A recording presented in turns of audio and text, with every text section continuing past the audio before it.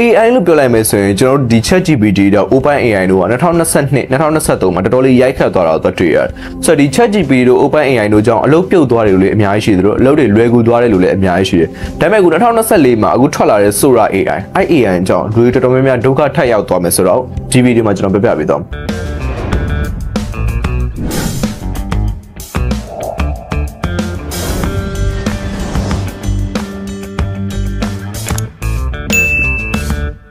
ကျွန်တော် AI တွေကိုကျွန်တော်ကိုယ်တိုင်နဲ့အသုံးပြုနေပါတယ်ကျွန်တော်ကဘယ်နေရာတွေမှာအသုံးပြုလဲလို့မြင်လဲဆိုကျွန်တော်တို့အတန် quality ပိုကောင်းအောင်နေအသုံးပြုကြတယ်ပြီးတော့ video background မှာတခုလိုအပ်တာရှိရင် AI နဲ့ဖျောက်လိုက်တာရှိတယ်ဆိုတော့ photo background တွေမှာလည်းလိုအပ်တာရှိရင် AI နဲ့သုံးပြီးဖျောက်သွားကျွန်တော်တို့သုံးတာတော့အဲ့လောက်ပါပဲနောက်တစ်ခုကျွန်တော်အများဆုံးသုံးမယ်ဆို text to image ကိုကျွန်တော်သုံးတယ်အဲ့ဒါဘာလဲလို့မြင်လို့ကျွန်တော်ဒီစာလေးတစ်ခုရိုက်လိုက်တာနဲ့ဟိုမှာလိုချင်တဲ့ပုံစံလေးတွေထွက်ပေါ်လာတယ်ဆိုတော့ animation လေးတွေအဲ့ဒါလေးတွေကျွန်တော်သုံးတာတော့တွေ့ရတယ်ဒါပေမဲ့အခုနောက်ပိုင်းမှာစာတစ်ကြောင်းရိုက်တာနဲ့ video တစ်ပုတ်ဖြစ်သွားမယ်ဆိုရင် Charlie လိုထိုင်ပြီးပြောဖို့တော့လည်းတိုင်ပတ်လာပြီလို့ပြောလို့ရတယ် โอเคဘယ်လိုဗီဒီယိုတွေရလဲကျွန်တော်ဗီဒီယိုတစ်ခုအရင်ဆုံးတက်ကြည့်လိုက်မယ်ဗျာဒီဗီဒီယိုကျွန်တော်တို့သေချာကြည့်လိုက်မယ်ဆိုရင်ကျွန်တော်တော်တော်လေးနားလည်သွားတော့တွေ့ရမှာ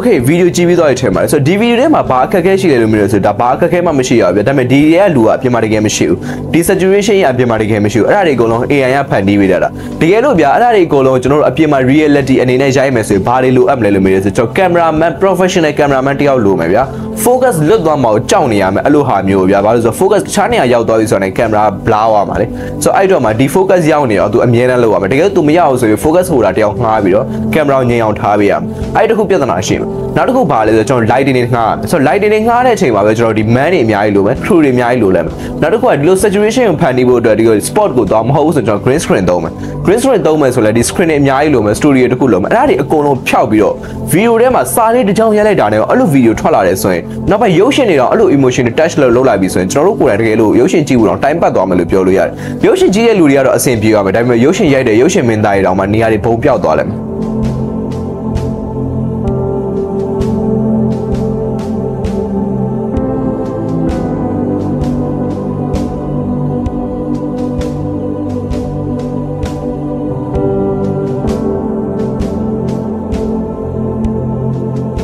okay ဒီခွေးလေးဗီဒီယိုကြည့်ကြအဖြစ်ဘာတော့တွေ့လဲလို့ကျွန်တော်တို့မေးတယ်ဆိုရင်ဒီခွေးလေးဗီဒီယိုမှာဒါဒီခွေးလေးဗီဒီယိုရိုက်မယ်ကျွန်တော်ခုနပြောသလိုမျိုးကင်မရာမန် professional တယောက်ငှားရမယ် focus အမြဲတမ်းမလွတ်နေအောင်လို့ focus ဆိုတာတယောက်လိုလဲဒါပေမဲ့ပြီးတော့ ဒီခွေးလေးကကင်မရာအရှိမအဲ့လိုပုံစံလုံနေမှာဖြစ်မှာအဲ့နှင်းတော့နေမှာအဲ့ပုံစံစော့နေမှာဖြစ်မှာတကယ်လို့မစော့ဆိုရင်ပြန်ရရမယ် redate တွေပြန်သွားရမယ်အများကြီးလို့တွေရှုပ်တယ်အဲ့ပြဿနာတွေအကုန်လုံးကုတ်လေးတစ်ချောင်းလေးစားလေးတစ်ချောင်းလေးရေးလိုက်တာနဲ့အကုန်လုံးဖြစ်တယ်ဗျာနောက်တစ်ခုဒီ main ကလေးလမ်းလျှောက်သွားတဲ့ပုံစံမျိုးတို့အများကြီးပါဆိုတော့ဒီနှင်းတော့ထဲမှာဆင်နေလာတဲ့ပုံစံမျိုးတွေအဲ့နှင်းတော့ထဲမှာဆင်လာတဲ့ပုံစံမျိုးတို့ကြည့်မယ်ဆိုရင်ဗျာဆင်လမ်းလျှောက်လာတာအဲ့ဆင်တွေအဆွဲနေနဲ့တကယ်ကျွန်တော်တို့ sport မှာတော့ရိုက်မယ်ဆိုရင်အဲ့ဆင်တွေအကုန်လုံးကကျွန်တော်တို့တိုက်ခိုက်လာလိုက်မှာအဲ့လိုအခြေအနေတွေ ဒါပေမဲ့အဲ့ဒါတွေအကုန်လုံးကိုတကြောင်းနဲ့ပြီးအောင်ရေးနိုင်မယ်ဆိုတော့တကယ် reality မှာတကယ် professional ကြတဲ့ cameraman တွေ wildlife photographer တွေကအလကားလားသူတို့သွားတဲ့ပြိုင်ပွဲတွေပါတွေအကုန်လုံးအလကားဖြစ်သွားပြီလားဆိုတော့တကယ်လို့ပြဒီ reality နဲ့ဗာနေရိုက်တာတော့ဗာဒီ guy ကပိုကောင်းတယ် AI နဲ့လောက်ထားတာကြီးကပိုကောင်းတယ်ကျွန်တော်ပထမပြောခဲ့သလိုမျိုး AI က emotion မရှိဘူး emotion မရှိဘူးပဲကျွန်တော်ပြောတာဒါပေမဲ့အခုလက်ရှိ AI emotion တော့ပါလာပြီဆိုတော့စက်ရုပ်ကခံစားတက်လာပြီဆိုရင်လူသားတွေကိုလွှမ်းမိုးသွားလိုက်မယ်ဗျအဲ့အကြောင်းနဲ့ပတ်သက်ပြီးတော့ရုပ်ရှင်တွေလည်းအများကြီးထွက်လာဦးတယ်ဆိုတော့စက်ရုပ်ကကျွန်တော်တို့ကဘာကြီးကိုလွှမ်းမိုးသွားမယ့်အခြေအနေတော့ဖြစ်သွားလိုက်မယ်ဗျဆိုတော့လူကဘာလို့ဖို့လဲအဲ့လိုအခြေအနေမျိုးဖြစ်လာပြီဒါကျွန်တော်မေးတဲ့မေးကုန်ဗျလူဘာလို့တော့မှလဲဆိုတော့စာတစ်ကြောင်းနဲ့ဗီဒီယိုတစ်ခုထုတ်နိုင်တယ်စာတစ်ကြောင်းနဲ့အကုန်လုပ်နိုင်တယ်ဆိုရင်လူဘာလို့တော့မှလဲအဲ့စာကိုပဲ program တစ်ခုလုပ်ပြီးတော့သူကသူရိုက်တဲ့ပုံစံမျိုးလုပ်လဲကဘာကြီးကိုစက်ရုပ်ကလဲပတ်တဲ့ပုံစံမျိုးပါလုပ်လဲတော့ကဘာကြီးမှာရှိတဲ့လူတွေအကုန်လုံးကဘာပြင်ထွက်ပြီးတော့ သွားလိုက်ကြတော့အဲ့ဒါပိုကောင်းဆုံးလို့ကျွန်တော်ထင်တယ်။ဘာလို့လဲလို့မေးရဆိုရင်ဗျာ emotionally touch ဖြစ်တယ်ဒီဟာကြီးကဟိုလူတွေအဓိကလှုပ်ရမယ့်ကိစ္စတွေကို AI ကလှုပ်လာတာမှန်တယ်။ဒါပေမဲ့အဲ့လိုနေရာမျိုးတွေမှာဗျာဥပမာကျွန်တော်တို့လှုပ်ရှင်နေရကြည့်ကျွန်တော်စက်ရုံတင်ုံပိုင်တယ်ဗျာအဲ့စက်ရုံတင်ုံမှာစက်တစ်ခုဝယ်လက်ချင်းအပြင်ဒီမှရှိတဲ့အလုပ်သမားတွေ900လောက်ကျွန်တော် short ချလိုက်လို့ရတယ်။အဲ့ကွန်ပျူတာလေးတစ်လုံးဝယ်ပြီးတော့ AI နဲ့တယောက်တည်းလှုပ်လို့ပြီဆိုရင်ဒီ900လောက်ကို short ချလို့ရတယ်ဆိုရင်ကျွန်တော်ကိုယ်တိုင်လှုပ်တော့မှာပဲလေ။ဘာဖြစ်လို့လဲမသိဘူးဒီ900ကိုပေးရမယ့်ပတ်စံကိုကျွန်တော်ဒီ set ပဲဆင်လိုက်တော့မှာ။ အဲ့ဆက်ဆင်လိုက်ကျွန်တော်အကုန်လုံးဆင်ပြီးတော့ဒါပေမဲ့အဲ့900လုံးအလုပ်လက်မဲ့ဖြစ်သွားတယ် population တွေများလာတယ်ဆိုတော့ဒီ900လုံးက AI ကိုနားလည်မှာလားလို့မေးတယ်ဆိုရင် AI ကိုသုံးတတ်တဲ့လူကတော်တော်ကြီးအဆင်ပြေလာမယ်လို့ပြောလို့ရတယ်ဆိုတော့နောက်လောကမှာနောက် generation မှာ cameraman တွေလိုတော့မှာမဟုတ် focus holder တွေလိုတော့မှာမဟုတ် computer ကောင်းကောင်းရိုက်တတ်တဲ့လူတွေလိုတော့မှာမဟုတ်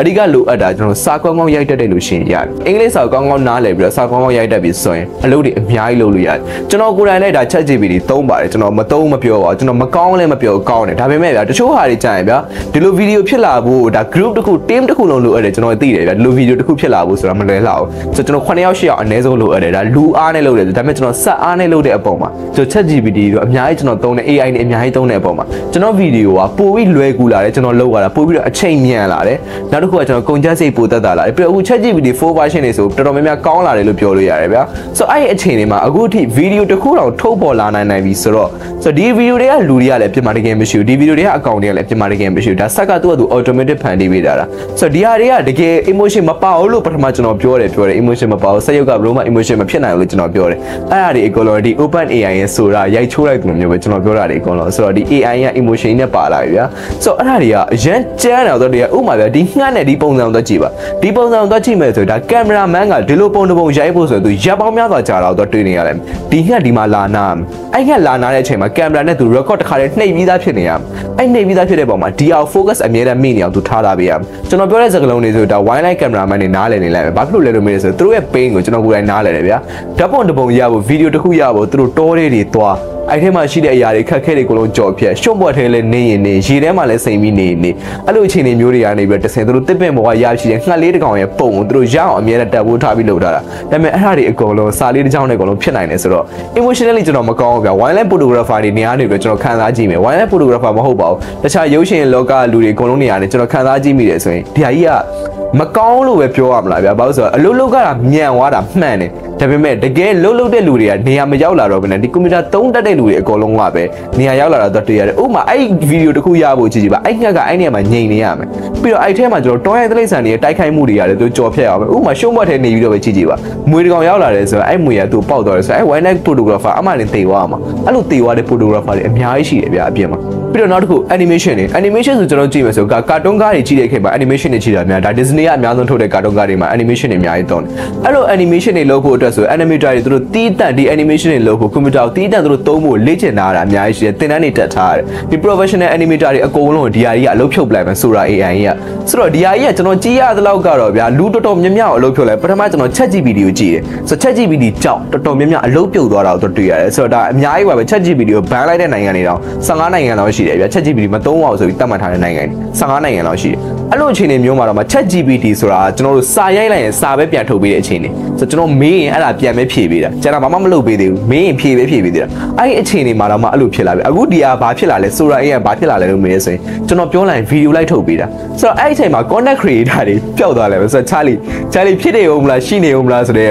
မေးခွန်းကတော့တောက်ပဲဗျာဘာဖြစ်လို့လဲလို့မေးရဆိုရင်ကျွန်တော်ထပ်ပိုကောင်းတဲ့လူကြီးကကျွန်တော်ထက် emotion နဲ့ပိုပြီးတတ်မှတ်လိုက်ပြီးဆိုရင်ဗျာကျွန်တော်ထက် emotion နဲ့ကောင်းတာကြီးပိုပြီးပြောနေမယ်ဆိုရင်ဒါရှင်းရှင်းလေးပါပရိသတ်တွေအားပေးတာကျွန်တော်ထက်ပိုကောင်းတယ်သူတို့ပဲအားပေးမှာပဲလေရှင်းရှင်းလေးသူတို့နေရာကျွန်တော်ကြည့်မယ်ဆိုရင်ဗျာဆိုတော့ကိုယ့်ထက်ကောင်းတာကိုယ့်ထက်လည်း information မှန်မယ်မြန်မယ်ဆိုကျွန်တော်ကိုယ်တိုင်လည်းအားပေးရမှာဟုတ်တယ်မလားဘာဖြစ်လို့လဲဆိုတော့ဒါ ethic ပဲကျွန်တော်ထက်ပိုကောင်းတယ်လို့ကျွန်တော်မနာလို့တတ်ဖြစ်လို့မရဘူးဆိုတော့ तू စူးစမ်းတယ်လို့ကျွန်တော်မစူးစမ်းနိုင်ဘူးနဲ့ကျွန်တော်သူ့ကိုမနာလို့လည်းတတ်ဖြစ်လို့မရဘူးကျွန်တော်ထက်ပိုကောင်းတာလူမဟုတ်ပဲ AI ဖြစ်မယ်ဆိုရင်ဗျာကျွန်တော်လုံးဝ live ပြိုင်လို့မရတော့ကျွန်တော်ပြိုင်ဆိုင်နဲ့ပြိုင်ဆိုင်မှုကဘယ်လိုလဲလို့မေးရဆိုရင်ဗျာလူတယောက်ကျွန်တော်ထက်ပိုပြီးကောင်းအောင်လုပ်နိုင်တယ်ဆိုရင်ကျွန်တော်သူ့ထက်ပိုပြီးကောင်းအောင်လုပ်ရမယ်အဲ့ဒါပဲကျွန်တော်ရဲ့ပြိုင်ဆိုင်ချက်ကျွန်တော်သူ့ထက်ပိုပြီးကောင်းအောင်စီစဉ်ရမယ်ကျွန်တော်သူ့ထက်ပိုပြီးအများကြီးစူးစမ်းရမယ်ဆိုတော့ကျွန်တော်ရဲ့ပြိုင်ဆိုင်ချက်ပဲသူရှေ့သွားလို့ကျွန်တော်နောက်ကိုဆွဲချမယ်ဆိုတဲ့ပြိုင်ဆိုင်ချက်ကျွန်တော်မှလုံးဝမရှိဘူးဆိုတော့သူလည်းရှေ့ရသွားရမယ်ကျွန်တော်ကိုယ်တိုင်လည်းသူ့နောက်ကိုမှီအောင်လိုက်ရမယ်အဲ့ဒီထက်အခြေအနေကောင်းတယ်ဆိုရင်ကျွန်တော်ကိုယ်တိုင်သူ့ကိုကြော်ရမယ်အဲ့လိုအခြေအနေမျိုးတွေကျွန်တော်ရအောင်လိုက်ပြိုင်ပါတယ်ဆိုတော့ဒါကတော့ကျွန်တော်ရဲ့ပြိုင်ဆိုင်ချက်လူတိုင်းမှာမနာလို့စိတ်ရှိပါတယ်ကျွန်တော်မှလည်းမနာလို့စိတ်ရှိတယ်ဒါပေမဲ့ကျွန်တော်ရဲ့မနာလို့စိတ်ကသူများကိုဆွဲချလို့ခြင်းနဲ့မနာလို့စိတ်မဟုတ်ဘူးကျွန်တော်ကိုယ်တိုင်လည်းတိုးတက်လို့သူကိုယ်တိုင်လည်းတိုးတက်အောင်ကျွန်တော်အများနဲ့အအထောက်ကူပြအောင်ကျွန်တော်တို့လည်းအထောက်ကူပြတယ်ကျွန်တော်မနာလို့စိတ်က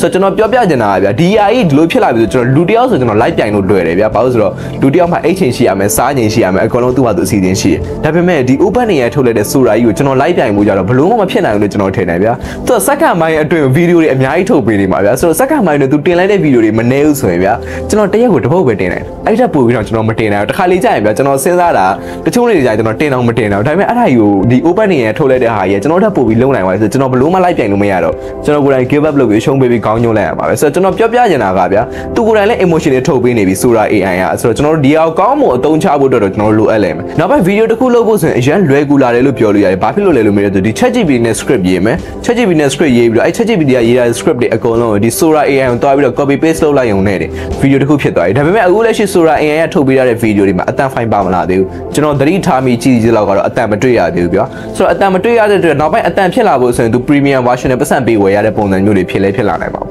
ဆိုတော့အဲ့ဒါလည်းမဟုတ်ဘဲနဲ့နောက်ပိုင်းဒီဗီဒီယိုကအခုလက်ရှိကျွန်တော်ကြည့်ရရတာတော့10မိနစ်ပဲရတယ်ဗျာဆိုတော့သူကြာရင် prompt ပေးလိုက်ပြီဆိုတော့10မိနစ်ပဲရဒါပေမဲ့အဲ့10မိနစ်တက်ပို့ပြီးလိုချင်တယ်ဆိုရင်တော့ဒါကိုရီးယားရှာပြီးတော့လိုက်ပြီးတော့ပတ်စံပေးပြီးဝယ်ရမယ့်အခြေအနေဖြစ်လာလိမ့်မယ်လို့ကျွန်တော်ထင်တယ်ဒီ ChatGPT ထွက်လာတယ်လို့မျိုးပဲဆိုတော့ ChatGPT က version တစ်ခုထိတော့ free ရတယ်ဒါပေမဲ့အဲ့နောက်ပိုင်းမှာကျတော့ဟို premium version နဲ့ဝယ်သုံးရတဲ့အခြေအနေမျိုးဖြစ်သွားတယ်ဆိုတော့အဲ့နောက်ပိုင်းမှာကျွန်တော်အခုသိရသလောက်ကတော့ဒီလိုတွေဝယ်သုံးခြင်းအဖြစ်ဗျာဘယ် businessman မဆိုဝယ်သုံးတော့မှာပဲလေဘာလို့ဆိုတော့ဒီက logo လည်းမပါဘူးဗျာအရန်လည်းအဆင်ပြေတယ်သူများသုံးပြီးသားဗီဒီယိုတွေလည်းမဟုတ်အများအားကိုတောင်းတဲ့အသစ်တွေသုံးပြီးတယ် copyright လည်းမမိဘူးဆိုတော့အကုန်လုံးကကျွန်တော်ကိုယ်တိုင်လည်းသုံးပါပဲဆိုတော့ကျွန်တော်ရှိရပြီဆိုကျွန်တော်ကိုယ်တိုင်လည်းသုံးပါပဲကျွန်တော်ပြောချင်တာကဗျာကျွန်တော်ခုန Sora AI ကိုကျွန်တော် live ပြိုင်ဖို့ကျွန်တော်မဖြစ်နိုင်ဘူးဒါပေမဲ့အဲ့ Sora AI ကိုဘယ်လိုသုံးရမလဲကျွန်တော်ကိုယ်တိုင်လေ့လာလိုက်လေ့လာပြီးအဲ့ Sora AI ကိုကျွန်တော်ဘဝအတွက်ကျွန်တော် reality တဲ့အများကြီးသုံးချတယ်ဆိုကျွန်တော်ကိုယ်တိုင်အများကြီးလှုပ်လှုပ်ရတာအများလွယ်ကူနေလိုက်မယ်ဗျာဆိုတော့ကျွန်တော်ပြပြချင်တာဒီနီးပညာတစ်ခုကိုကျွန်တော်ကြောက်စရာမလိုဒါကြောက်ဖို့လည်းကျွန်တော်ပြောနေတာမဟုတ်ဒါပေမဲ့အဲ့ဒါကိုကောင်းကောင်းမွန်မွန်အသုံးမချတတ်ဘူးဆိုရင်ဒုက္ခရောက်သွားလိမ့်မယ်ကျွန်တော်ပြပြချင်တာဟိုးအရင်တော့လူတွေတွက်ကြည့်မယ်ဆိုရင်ဗျလန်ချားတွေပါဆွဲတာကိုတွက်တွေ့ရတယ် လန်ချားဆွဲပြီးတော့လူတွေကို travel လုပ်ပေးတာဗျတနေရာနဲ့တနေရာမှာဘလောက်ဘလောက်ကြတယ်ဆိုပြီးတော့လန်ချားနဲ့လူတွေဆွဲပြီး travel လုပ်တယ်ဒါပေမဲ့အဲ့နောက်ပိုင်းမှာနည်းနည်းအဆင်ပြေလာတော့ site ကားတွေတုံးကြတယ်အဲ့ site ကားတွေနဲ့အခုတစ်ဆင့် carry တွေဖြစ်လာတယ်ဒါပေမဲ့အဲ့လိုဗျကျွန်တော်ပြောပြချင်တာတဖြည်းဖြည်းတဖြည်းဖြည်းပြောင်းလဲလာတယ်ဗျအဲ့ပြောင်းလဲလာတဲ့ပုံမူတည်ပြီးတော့အခုလက်ရှိဒီကျွန်တော်တို့လန်ချားပဲဆွဲနေမယ်ဆိုရင်ကျွန်တော်တို့ဘယ်သူမှအဲ့လန်ချားကိုစီးတော့မှာမဟုတ်ကျွန်တော်ပြောပြချင်တာလူတွေကဘာကြိုက်လဲအဲ့ဒါကိုမူတည်ပြီးလိုက်ပြောင်းလဲပါဆိုတော့ကိုတက်တဲ့ပညာနဲ့ကိုတက်တဲ့ပညာကိုဒီနီးပညာနဲ့ဘယ်လိုအသုံးချရမလဲဆိုတော့ဆက်ဆက်ပြီးဆွေးနွေးပါအဲ့ဒီအချိန်မှာကျွန်တော်တို့တီးရတဲ့လောက်ကကြတော့ဗျာဒီဟာပိုပြီးအဆင်ပြေလာတယ်လို့ကျွန်တော်ထင်တယ် ကျွန်တော်အနေနဲ့ဒီ ChatGPT တို့ Sora AI တို့ကျွန်တော်ကိုယ်တိုင်မကြောက်ပါဘူးကျွန်တော်ကိုယ်တိုင်လည်းအသုံးပြုနေအခု Sora AI ထွက်လာပြီဆိုတဲ့ news ကိုကျွန်တော်ကြည့်လိုက်ရတော့ Sora AI ကကောင်းတယ်ဆိုတာကိုကျွန်တော်တွေ့ရတယ်ဒါပေမဲ့ကောင်းတယ်ဆိုတာအတိုင်းအတာတစ်ခုထိပဲကောင်းတာအဲ့ထက်ပိုပြီးကျွန်တော်ဘာလုပ်လို့ရလဲလို့မေးရဲဆိုရင်ဒါကျွန်တော်အကြံပေးလို့တော့ရတယ်ဗျာဒီဟာတွေဘယ်လိုလဲဥပမာကင်မရာမန်ဆိုရင်ဒီဟာတွေဘယ်လိုသုံးရမလဲလေ့လာလိုက်လေ့လာလိုက်ပြီဆိုသူကင်မရာမလိုဘဲနဲ့ဒီဟာကိုဗီဒီယိုတစ်ခုတွေနဲ့သူထုတ်ပေးလို့ရတယ် commercial video တွေရိုက်တဲ့အချိန်ညာရင်သူ့အနေနဲ့အဆင်ပြေအောင်အသုံးပြုလို့ရတယ်ကျွန်တော်ပြပြချင်တာဒီဟာကြောက်ဖို့မဟုတ်ဒီဟာတွေလွယ်ကူစွာအသုံးပြုလို့ရအောင်လေ့လာလိုက်ခြင်းအပြင်ကျွန်တော်တို့အနေနဲ့ပိုပြီးရှေ့တလန်းတာနေလိုက်မယ်သူများထက်ဗျာ ဥပမာဒီနီးပညာသတင်းတွေစောင့်မကြည့်တဲ့လူနဲ့ဆိုင်ဆိုတာဆိုတဲ့နီးပညာကိုကျွန်တော်တို့သုံးတက်သွားပြီဆိုရင်သူတို့ထက်ပိုပြီးကျွန်တော်တို့အများကြီးရှေ့ရောက်နေလိုက်မယ်ဆိုတော့ကျွန်တော်တို့ပြောချင်တာကင်မရာကြီးကင်ပြီးအများကြီးရိုက်နေကြမလို့အရင်တော့ဆိုရင်ဗျာကျွန်တော်တို့ဒီအပေါ်က shoot တွေလိုချင်တယ်ဆိုရင်ကျွန်တော်တို့ဒီဟာ helicopter ကြီးနဲ့ကင်မရာကြီးကြီးတွေနဲ့ကင်နေရတယ်အခု drone တစ်လုံးနဲ့လည်းအကုန်လုံးပြီးသွားတယ်ကျွန်တော်ပြောပြချင်တာအဲ့ဒီအချိန်မှာ helicopter mount တက်တဲ့လူတွေပျောက်သွားတယ်နေရာပျောက်သွားတယ်ပြီးနောက်တစ်ခုကဒီ cameraman လည်းနေရာပျောက်သွားတယ်ဒါပေမဲ့ drone mount တက်တဲ့လူကကြတော့ဆရာကြသွားတယ်ကျွန်တော်ပြောပြချင်တာအဲ့နှစ်ယောက်ကကျွန်တော်တို့ဒါနောက်ကျခဲ့လို့တော့မဟုတ်သူတို့ကိုယ်တိုင်နီးပညာနဲ့မူတည်ပြီးတော့မပြောင်းလဲလာလို့ဗျာဆိုတော့နီးပညာနဲ့မူတည်ပြီးအများနဲ့ပြောင်းလဲကိုယ့်ကို update လုပ်နေခြင်းအပြင်ကျွန်တော်လည်းအများနဲ့ update ဖြစ်ပြီးကျွန်တော်တို့အများနဲ့ information တွေအများနဲ့နားထောင်ပြီးကျွန်တော်တို့ရဲ့ business ကောင်းအောင်လုပ်နေလို့ရတယ်ဒီနီးပညာနဲ့ပတ်သက်ပြီးတော့ဒီ OpenAI company အကြောင်းပြောမယ်ဆိုရင်ဒါဒီ2021 2022ကြားထဲမှာပဲလူသိများလာတယ်လို့ပြောလို့ရတယ်ဗျာ2021မှာတော့အလောက်မသိကြသေးဘူး22နဲ့23ကြားထဲမှာတော်တော်များများလူသိလာတယ်လို့ပြောလို့ရတယ်ဒီ OpenAI history ကိုကျွန်တော်လိုက်ကြည့်လိုက်တဲ့ပုံမှာ OpenAI history ကဒီ2020ဝန်းကျင်ကျော်မှာမဟုတ်ဘဲသူနာမည်ကြီးလာတော့2021 2022 2023အဲကြားထဲမှာသူနာမည်ကြီးတာဒါပေမဲ့သူစတင်ခဲ့တာ2015ရဲစတင်ခဲ့တာသူစတင်ခဲ့တဲ့ project ပေါင်း6ခုရှိတယ်အခုနောက်ပိုင်း Sora နဲ့အပါ6ခုရှိတယ်အဲ6ခုကပထမဆုံးကဘာလဲလို့မေးရဆိုရင်ဗျာဒါ OpenAI 5လို့ခေါ်တယ်ဒါ game တစ်ခုဗျာ9ရောက်9ရောက်ဟိုဘက်ဒီဘက် Mobile Legends ပုံစံမျိုး Dota 2နဲ့ဆင်တူတယ်လို့ပြောလို့ရတယ်ဟိုဘက်9ရောက်ဒီဘက်9ရောက်အပြန်လန်ဆော့ရတဲ့ game မျိုးအဲ့ဒါ OpenAI ရဲ့ပထမဆုံး project ဒုတိယ project က GPT 1 2 3 4လို့ပြောလို့ရတယ်သူ version 1 version 2 version 3 version 4ဆိုတော့ GPT ဗျာအဲ့ GPT ကသူကဘာလုပ်ပေးလဲလို့မေးတယ်ကျွန်တော် business တစ်ခုလုပ်မယ်ဆိုတော့ analyze လုပ်ပေးတယ်ဆိုတော့ဒီ business ကဘယ်လိုလုပ်တင်လဲဒီ business မှာဘယ်လိုတွေ profit ရနေပြီလဲဘယ်လိုတွေလုပ်တင်လဲအကြံပေးတဲ့ပုံစံမျိုးလဲသူလုပ်ပေးတယ်နောက်တစ်ခုကဘာလဲလို့မေးတယ်ဆို Delhi Delhi က2022မှာထွက်ခဲ့တာဗျာအဲ့2022မှာထွက်ခဲ့တာဘာလဲအဲ့ Delhi ကဘာလဲလို့မေးတယ်ကျွန်တော်ဒီစာသားတွေကနေပြီးတော့ဓာတ်ပုံပြောင်းတဲ့အချိန်တွေမှာသုံးကြတယ်ဒါတော်တော်များများကျွန်တော်ကိုယ်တိုင်လည်းသုံးခဲ့ပါတယ်ဒီစာသားတစ်ခုကနေပြီးတော့ဓာတ်ပုံဖြစ်လာအောင်ဆို animation တွေတော်တော်များများသုံးကြတာတွေများတယ် ဥပမာဗျာ make a photo of Justin Bieber လို့ပြောလိုက်မယ်ဆိုကျွန်တော် Justin Bieber ပုံတွေကြာလာတော့တည်းဒါပေမဲ့ Google မှာကြာလာတာရှိပြီးသားပုံတွေဒါပေမဲ့ဒီ Delhi မှာကြာလာတာကြတော့မရှိရသေးတဲ့ပုံတွေ Justin Bieber ရဲ့ location မှာသူမရိုက်ဘူးတဲ့နေရာတွေမှာထွက်ပေါ်လာတဲ့ပုံတွေ AI နဲ့ဖန်တီးပြရတဲ့ပုံတွေကျွန်တော်တို့တွေ့ရတယ်နောက်တစ်ခုက OpenAI Codex OpenAI Codex ကဘာလဲလို့ပြောဆိုကျွန်တော်ဒါ programmer တွေ developer တွေဗျာဆိုတော့ဒီ website ရေးတဲ့လူတွေ application ရေးတဲ့လူတွေ code တွေ reference ပေးတဲ့နေရာလေးတွေသူတို့လုပ်ခဲ့တယ်ဒီနောက်ဆုံးနာမည်အကြီးဆုံးကဘာလဲလို့မျိုးဆိုဒီ ChatGPT နဲ့ဆိုတာလို့ပြောလို့ရတယ်ဆိုတော့ ChatGPT ထွက်လာပြီးနောက်ပိုင်းမှာတော်တော်များများသိကြမှာကျွန်တော်ဒီ ChatGPT အကြောင်းပြောရမယ်ဆိုရင်ဗျာအကြောင်းကစာမွဲမှာဗျာခလေးတွေတော်တော်များများဒီ ChatGPT သုံးပြီးဖြေလာတာတွေတွေ့ရတယ်ဆိုတော့ assignment တင်တာပဲဖြစ်ဖြစ်စာမွဲဖြေတာဖြစ် ChatGPT သုံးပြီးတင်ကြတယ်အဲ့ဒါကိုဆရာမတွေကအဲ့ဒါတွေကိုလေ့လာဖို့အတွက် ChatGPT သုံးတာလားမသုံးတာလားဆိုပြီးခွဲခြားဖို့အတွက်ဆရာမတွေက AI တခုကိုခြင်ထားတယ်အဲ့ AI နဲ့ဒီ ChatGPT ကဒီကလေးသုံးတာလားမသုံးတာလားသူတို့လေ့လာဖို့အတွက်အဲ့ ChatGPT ဆရာမတွေသုံးထားတဲ့ AI ကိုကြော်ပြီးတော့ဘယ်လိုသုံးရမလဲဆိုတာကိုဟာစနောက် AI တခုထွက်ပေါ်လာတယ်ဆိုတော့အစဉ်းစားကြည့်ပါ AI ဆိုတာကျွန်တော်တို့ဘယ်တော့မှဖိလို့မရတော့အပေါ်အမြဲတမ်းတက်လာပြီးတက်လာပြီးဖြစ်တဲ့အတွက်အောင်မှကျွန်တော်တို့ဒါကိုဘယ်လိုသုံးရမလဲပဲလေ့လာတော့မှဒီထက်ပိုပြီးတော့ကျွန်တော်တို့ဒါကြောက်စရာလည်းမဟုတ်လန့်စရာလည်းမဟုတ်နောက်ဆုံးကျွန်တော်ပြောချင်တာဒီ Sora AI ကကျွန်တော်တို့အတွက်အဓိကရိုက်ခတ်မှုဖြစ်ပေမဲ့ဒါကြောက်စရာတော့မဟုတ်ဘူးဗျာအမြင့်ဆုံးပြေးပြီးလေ့လာလိုက်တယ်ဆိုရင်တော့ဘာပြဿနာမှမရှိဘူးကိုယ့်အနေနဲ့အမြဲတမ်း update ဖြစ်နေအောင်ဒီ Sora ကိုကျွန်တော်တို့ထင်လေ့လာထားဖို့တော့လိုအပ်လိုက်မလို့ကျွန်တော်ယူဆတယ် thank you